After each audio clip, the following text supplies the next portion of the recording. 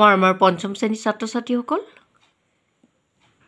তোমালোকক মই ইতিমধ্যে পৰিৱেশ অধ্যয়নৰ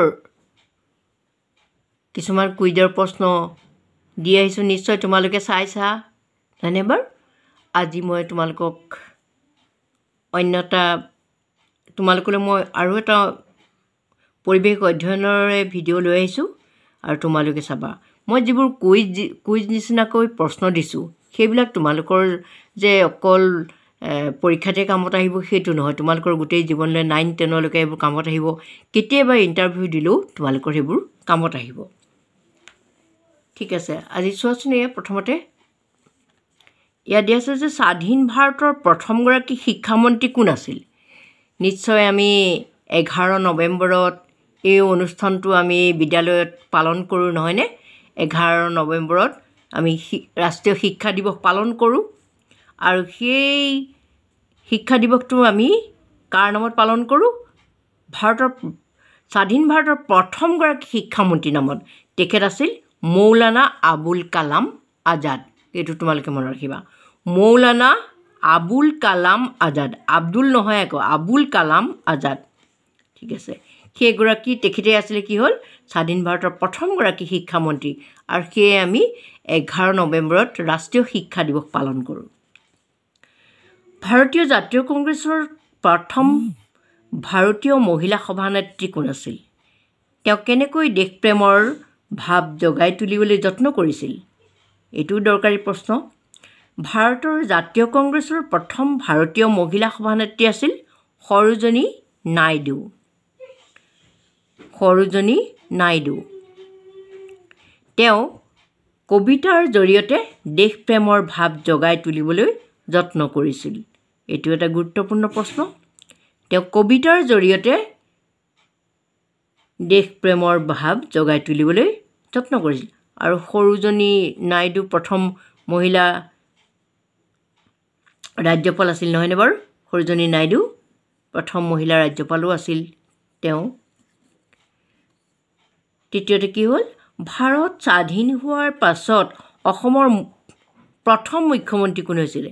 যেতিয়া ঊনৈছশ সাতচল্লিছ চনৰ পোন্ধৰ আগষ্টৰ দিনা ভাৰত স্বাধীন হয় তাৰপিছত আমাৰ অসমৰ প্ৰথম মুখ্যমন্ত্ৰী হৈছিল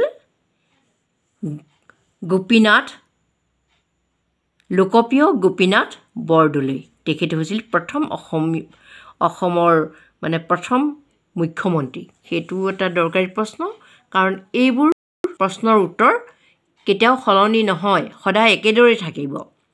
এশ বছৰৰ পিছত হ'লেও সেই একেটাই থাকিব। ইয়াক ইয়াৰ কোনো পৰিৱৰ্তন নহয়। তাৰপিছত মই আৰু দুটামান সৰু সৰু প্ৰশ্ন আছে মই সেইকেইটা তোমালোকক ঠাউকতে দি দিছোঁ। এইটো চাবাচোন। এতিয়া খালী ঠাই পূৰ কৰা। ইয়াত মই লিখি থৈছোঁ বাৰু। নাগালেণ্ড দেশ চনৰ দেশ ডিচেম্বৰত এখন পূৰ্ণাংগ ৰাজ্য হিচাপে স্বীকৃতি পায়। তাৰমানে প্ৰশ্ন হিচাপে দিলোঁ নাগালেণ্ডে কোন চনৰ কিমান তাৰিখে এখন পূৰ্ণাংগ ৰাজ্য হিচাপে স্বীকৃতি পায়? সেইটো মনত ৰাখিবা। আমাৰ ওচৰ চুবুৰীয়া ৰাজ্য নাগালেণ্ড নাগালেণ্ডৰ ৰাজধানী কহিমা নহয়নে নাগালেণ্ডে ঊনৈছশ তেষষ্ঠি চনত ঊনৈছশ তেষষ্ঠি চনৰ এক ডিচেম্বৰত এখন পূৰ্ণাংগ ৰাজ্য হিচাপে স্বীকৃতি পায়। তাৰপিছত চোৱাচোন চনলৈকে ডেছ দি আছে চনলৈকে বৰ্তমান মেঘালয় অসমৰ অংগ হৈ আছিল আৰু তেতিয়া কি হ'ল? অসমৰ ৰাজধানী আছিল।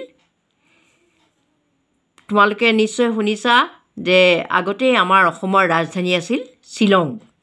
আৰু তেতিয়া মেঘালয় ৰাজ্যখন আমাৰ অসমৰ লগতে আছিলে। সাত ভনী মানে ৰাজ্য একেলগে আছিলে। আৰু সেই চনটো হৈছে কেতিয়ালৈকে আছিলে? ঊনৈছশ সত্তৰ চনলৈকে একেলগে আছিলে। আৰু তেতিয়ালৈকে অসমৰ ৰাজধানী শ্বিলং হৈছিলে তাৰপিছত কিন্তু ঊনৈছশ বাসত্তৰ চনত পৃথক ৰাজ্য হয় দেই। এয়া চোৱা ইয়াত ডেছ দিয়া আছে।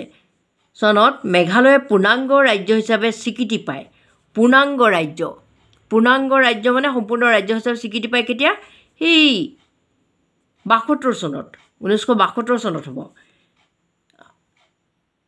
সত্তৰ চনলৈকে মানে একেলগে আছিলে তাৰপিছত বাসত্তৰ চনত মেঘালয়ে পূৰ্ণাংগ ৰাজ্য হিচাপে স্বীকৃতি পায়। এইখিনি অতি দৰকাৰী প্ৰশ্ন। আৰু উত্তৰ পূব সীমান্তৰ অঞ্চলটোৱে ঊনৈছশ বাসত্তৰ চনত কি হয়? উত্তৰ পূব মানে উত্তৰ ফালে থকা অৰুণাচল প্ৰদেশ যে সেই অৰুণাচল প্ৰদেশ হিচাপে স্বীকৃতি লাভ কৰে। একেলগেই হৈছে মানে একে বছৰতে এইফালে মেঘালয় এইফালে অৰুণাচল এইবোৰ একেলগেই হৈছে। গতিকে তোমালোকে আজি এইকেইটা বহুত দৰকাৰী প্ৰশ্ন জানিলা আৰু তোমালোকে ভালদৰে মনত ৰাখিবা। এই সৰু সৰু কথাবোৰ কিন্তু জনাটো আমাৰ কাৰণে বৰ দৰকাৰী। কাৰণ এইবিলাক কথা জানিলে আমি বহুত কথাই জানিব পাৰিম। ঠিক আছে? তোমালোকে অকল যে তোমালোকৰ প্ৰাথমিক স্তৰতে দৰকাৰ হ'ব নহয় মাধ্যমিক মেট্ৰিক দিয়া হায়াৰ ছেকেণ্ডেৰী দিয়া কেতিয়াবা চাকৰি ইণ্টাৰভিউ দিয়ালৈকে এই কথাখিনি দৰকাৰ হ'ব। গতিকে আজিলৈ আহোঁ তোমালোকে কিন্তু মই দিয়া প্ৰশ্নসমূহৰ বাৰে বাৰে ভিডিঅ'টো চাই চাই উত্তৰবোৰ বাৰে বাৰে মনত ৰাখিবলৈ যত্ন কৰিবা।